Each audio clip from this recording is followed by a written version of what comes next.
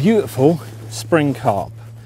Got one Richworth Tutti Frutti, cast about 30 yards in a hole in a weed. But the real important part of this catch up, oh, come on girl, is line management. I'm gonna get a straight back and show you how I do it.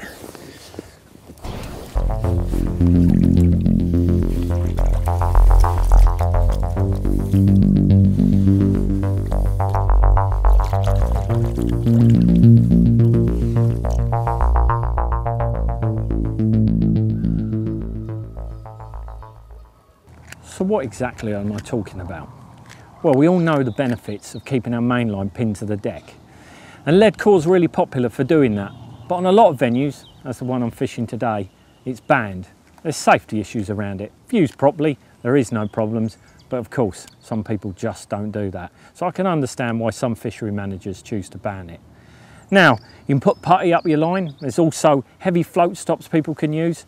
And with the heavy float stops, yeah, they do pin it down, but I'm slightly concerned that you might get a build up if you've got two or three of them up the line, all pulls together, and then one will slip, two mm, just budge, three though, pulling in different directions slightly, just won't move.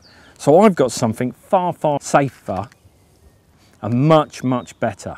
And it doesn't come from the carp world, it comes from the match world. Olivettes, These are absolutely brilliant. I use while pole fishing. And just to show you, here we go, here's my main line. Let me put these Olivettes down. There's a male part inside that silicone, and the silicone's obviously the female part.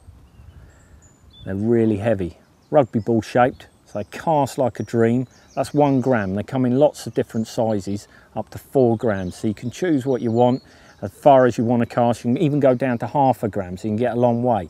Just cast out, keep a nice straight line, and just get it all to sink in a line behind you. Secret is, is a long drop when you cast. I cast on an eight foot drop if I can to get it out there. So I've got a lot buried and I've got three or four all up the line. Totally safe. As soon as it hits weed, it gets caught, ping, it's gone, it's off. Better than anything else on the market, heavier than any putty, any stop whatsoever. And that's my number one tip for this spring. Give it a go.